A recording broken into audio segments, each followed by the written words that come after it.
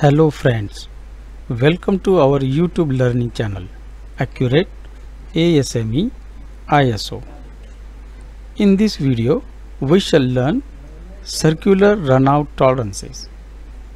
Runout tolerances are also known as composite tolerances because runout tolerances includes form and concentricity simultaneously. Let us begin now.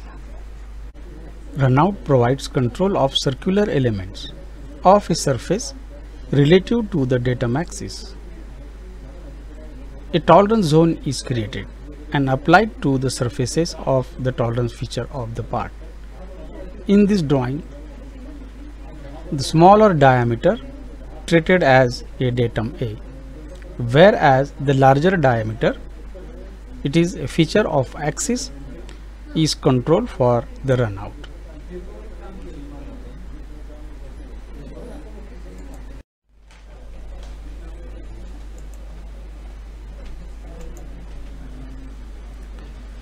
Circular runout and total runout are geometrical tolerances used to control applicable characteristics of surfaces. Surfaces of revolution and relative to the datum axis RMB. Here RMB means regardless of maximum material boundary. In this drawing, it control runout tolerance is specified. 0.02 with datum A. For the diameter 21.87 to 21.98 these are the limit dimensions of size. In this figure we can have the detailing of the specified controls on the drawing a is the datum axis. The smaller diameter, the axis of that becomes a datum axis A.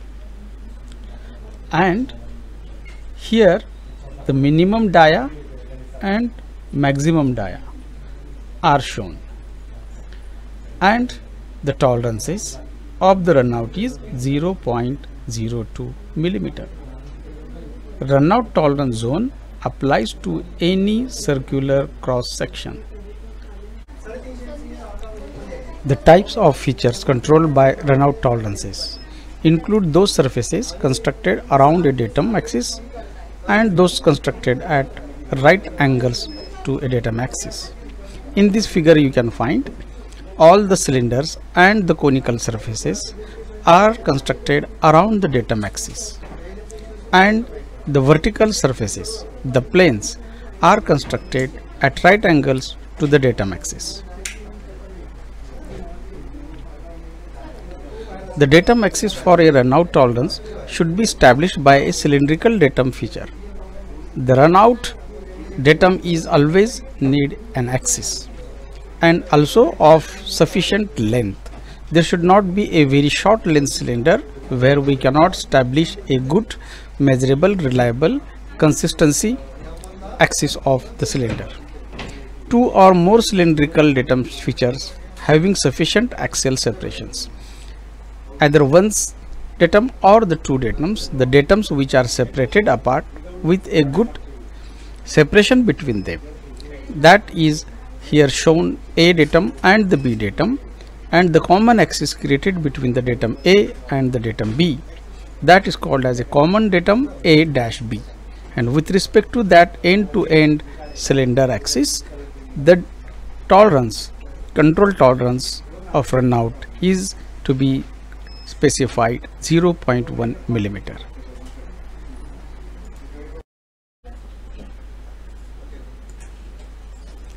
Features used as datum features.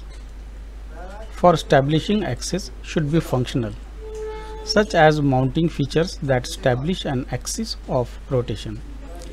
In this figure, the datum is shown here AC. While deciding the datum, it is to be well known for the designer the purpose or the functional requirement of the datum. With respect to this, it is control this conical surface in 0.1 millimeter.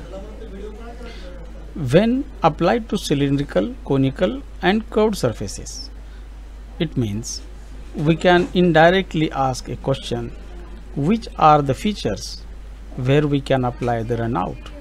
So the features are cylindrical, conical and curved surfaces and those surfaces constructed around a datum axis. Circular runout controls cumulative variations of form and coaxiality. So the runout tolerance is the combination of cumulative value of form and coaxiality. In some cases, when a limited area of application is specified, the location of the area shall be dimensioned from the reference to a datum reference frame. This is the explanation given here. The runout is asked 0.2 with respect to A and B. Here two datums are shown. A is the small diameter whereas B is the rear surface. The next control of the runout of this dia is given as runout 0.2 with respect to A and B. But additionally what we see here is the control is only applied to the length of 17 millimeter. This is a basic dimension. And how to reach for the measurement or to control the runout is the information established from the datum B. From B 7 millimeter onwards, the 17 millimeter is the length where runout is controlled in 0.2 with respect to datum A and datum B. In this case, there is a no limit for the length of the control of the runout. So, anywhere any cross sections we can check it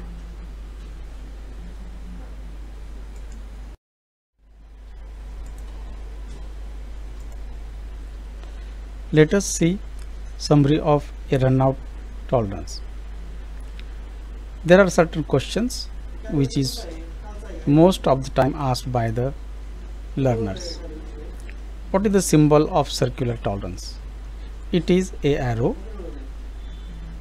at certain angle. Next question. Can runout apply to cylindrical features? Yes. Next question. Can runout apply to conical features? Yes. Can runout apply to profile surfaces or curved surfaces? Again the answer is yes. In this drawing we can see here is a conical surface where we can apply a runout. The second runout shown here is for the curved surface or profile surface. Is runout required datum? Yes. Can datum be more than one? Again answer is yes.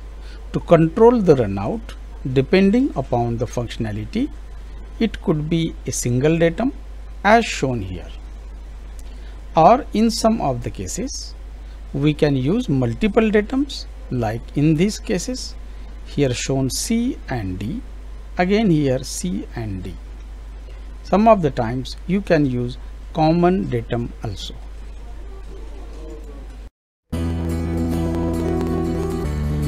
let us have a practical of measuring a circular runout on a 3 coordinate measuring machine.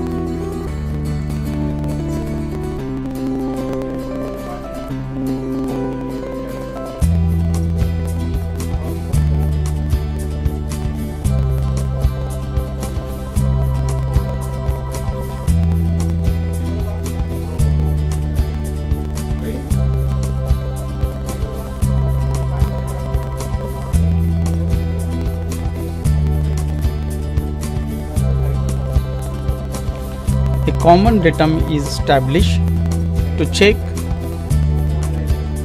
circular runout of each journal.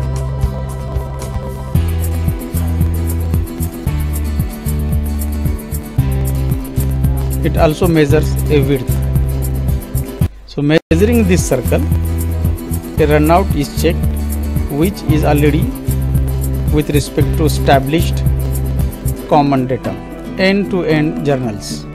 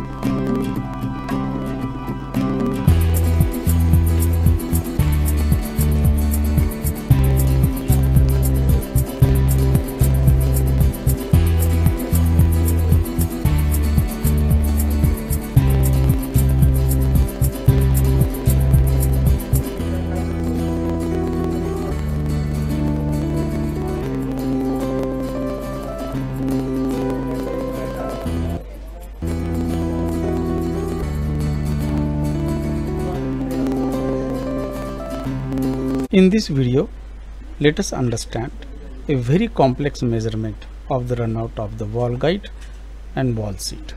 With respect to the guide, the valve seat runout is controlled. Measurement is done on 3 coordinate measuring machine. This measurement is on Revo probe head which scans and controls the thousands points to construct the geometrical features, enhancing the accuracy of the measurement.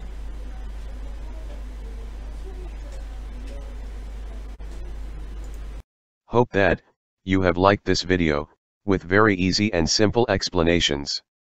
You can comment how do you see this initiative and suggest more on upcoming videos. Also we are pleased to conduct training programs at your locations in factories.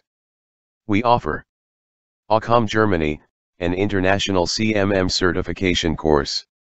Basic of GD&T. Advanced GD&T. Stack up tolerances. Surface finish. MSA and other quality tools. For further details, please contact us. And I'm sure you will encourage the initiative of training through YouTube, by subscribing a channel. Accurate, ASME, ISO. Thank you and have a good day.